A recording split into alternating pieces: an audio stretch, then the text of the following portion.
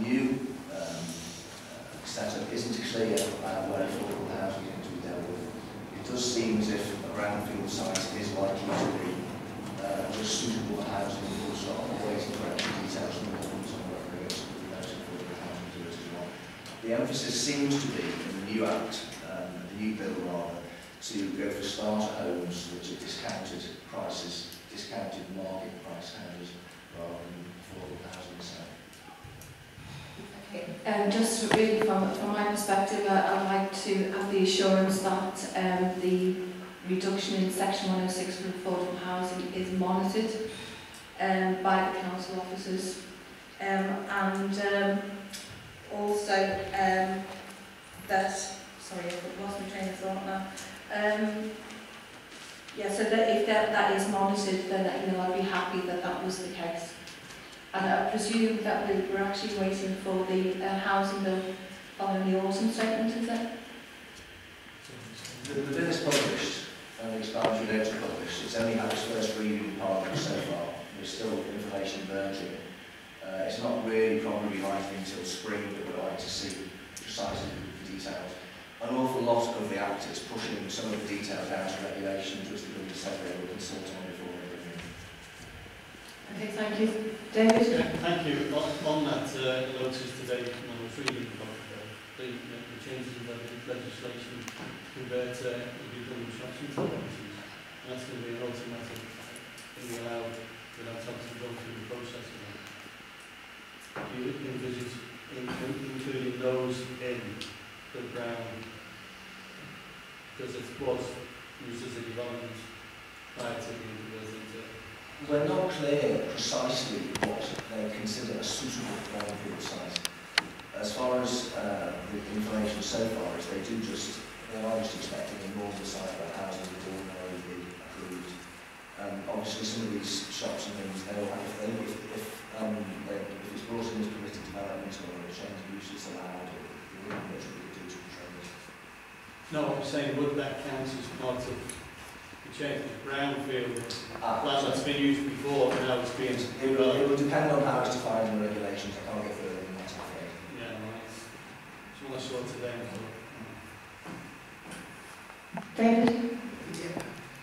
Thank you, Chair. Um, I have asked this type of question before, and I'm interested to know how many extant uh, planning permissions we've already got on brownfield sites, because as we know, there are so many that have not been built for various reasons, and yet, as far as I'm concerned, we have given planning permission for them, and yet people have chosen not to implement them for reasons best known to themselves. I think we need to keep a register of that as well. It isn't all down to us trying to find additional sites to replace housing. It's down to developers to give action on the sites we've already given planning permission for. Yes, I would agree with that. 85% of our current housing land supplies are brownfield sites at the moment. We do track it, it's, it's monitored each year, and the latest annual monitoring report will be coming out hopefully in December. Sorry, that wasn't quite a question. What I was trying to find out how many sites, ground brownfield sites, have we given planning permission for already that have not been implemented? I haven't got the number in front of me, and I'd have to send, send you a separate note to that. Just send that to the housing minister, please. Okay, um, Pat, did you want to? Yeah, Just briefly, uh, item 11.1 on page 112 orders can be used to promote sustainable design and construction through the imposition of appropriate conditions. Uh, Could I just get some comment on, is that, is there kind of, does the council have scope within that, you know, to um, amend or change or encourage sustainable design? And is that different from, you know, current arrangements? Or is it clear at the moment what could you just comment about that, please? The government has mainly taking sustainable design through the building regulations now, seems a very clear decision. But were a local development order to be approved by the council, the council can put conditions on the permission that it would grant. And that could include uh, something that would reflect that sort of element. So it would, you know, it could include separation distances. It's like setting the parameters for a development. Here's a site. You can, you can have up to five dwellings on it as long as they're built in this way and can have four. And that's the way the development order would work. So there could be elements uh, uh, put in there that would enable us to require that as part of subsequent approval. And so next is, And is that, is that any different to current arrangements in terms of what the council would do? Is there more scope on, on kind of, yeah, yeah, for the council to I wouldn't promote? say there's any more scope. Okay, has everybody finished asking questions? I think it's, it's what's it's basic for me as, as a member of the planning committee, it's, it's how the policy develops. I mean, you know, an LDO, if we give an LDO and um, we're basically neutral as a planning committee, I would some concerns about, about you know, our role and, uh, and technically.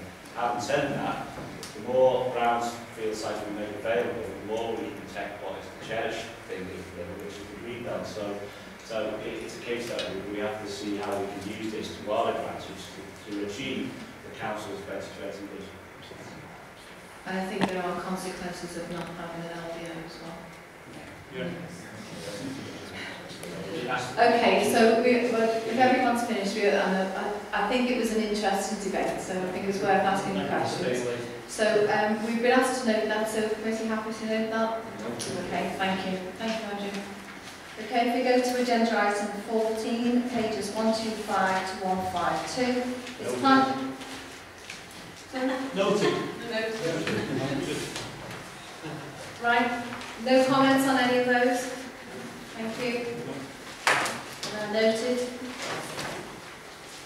We go to agenda item 15, which is a planning appeals decided between the 1st of July and 30th of September. We have to note those. Thank you. Uh, under any other business, I've just got two items, committee which I won't take you long over.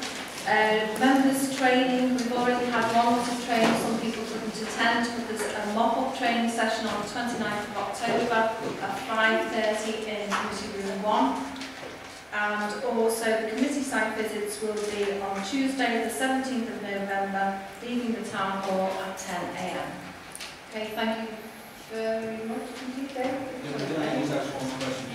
The number of times we turn up at full plan and have the sound system, or we're playing around with the sound system, we've got the public in, and it looks as though we're just playing funny games on the sound system. Can we make sure before we come in that the sound system is working perfect for the people down there, perfectly for us? And can you make sure you turn your mic on next time? I can't say mine. No, no, I think, I think you're absolutely right, you know. It, it wasn't great that we had to move mics around there. Okay, thank you very much, committee, thank you all.